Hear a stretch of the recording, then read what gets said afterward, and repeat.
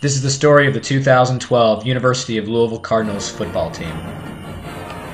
Head coach Charlie Strong was entering his third season with the program, and big things were expected. The arch rival University of Kentucky Wildcats were the first opponents the Cardinals would face this season. The game was quickly put out of question as star sophomore quarterback Teddy Bridgewater shredded the Wildcat defense. While running backs Senorise Perry and Jeremy Wright each ran for over 100 yards. And the Louisville defense forced two turnovers, limiting the Wildcats to only two touchdowns. With a 32 14 victory, the Cardinals maintained possession of the Governor's Cup trophy. Following an easy victory over Missouri State, the Cardinals faced traditional ACC power North Carolina. It seemed as though nothing could stop the Cardinals as they jumped out to a 36 7 point lead at the half. On the strength of Bridgewater touchdown passes to Charles Gaines, Eli Rogers, and Nick Heiser. But the Tar Heels rallied on the strength of four touchdowns in the second half of the game. But the Cardinals survived as junior cornerback Andrew Johnson knocked down what would have been the game winning touchdown pass as time expired. The Cardinals then went on to defeat FIU, Southern Miss, and Pittsburgh, all on the road, before beginning Big East play against the South Florida Bulls back at home. In what was supposed to be a blowout game, the Cardinals had to rely on a goal line stand and a last second touchdown pass to Eli Rogers in order to prevail over their conference rivals.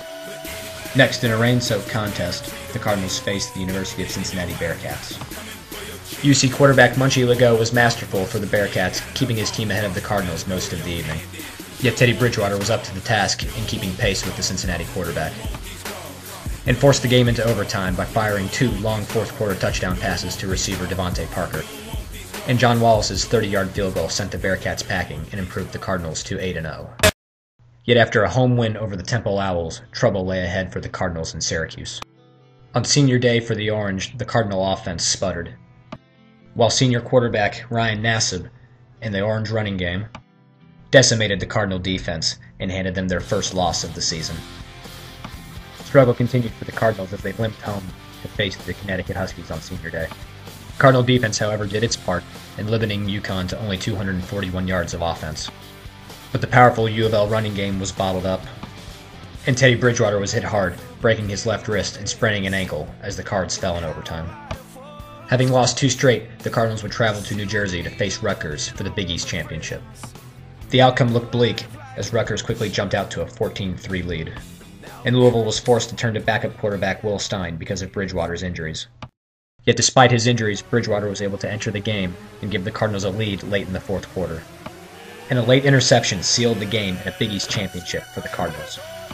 As the team celebrated their championship by hoisting the trophy, the star quarterback, barely able to walk because of his injuries and playing with a broken wrist, shared an emotional moment with the coaching staff. The victory propelled the Cardinals into the Sugar Bowl, where they would face the heavily favored Florida Gators.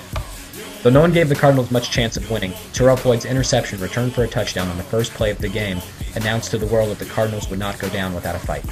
And though the Florida defense tried to intimidate the Cardinals, Bridgewater drove them down the field and capped off their first offensive possession with a touchdown.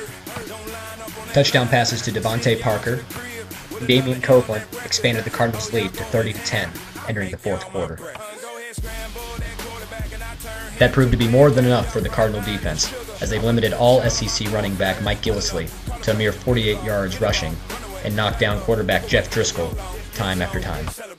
And as his players celebrated the 33 23 victory, Coach Charlie Strong hoisted the Sugar Bowl championship trophy, the culminating act of the finest season in school history.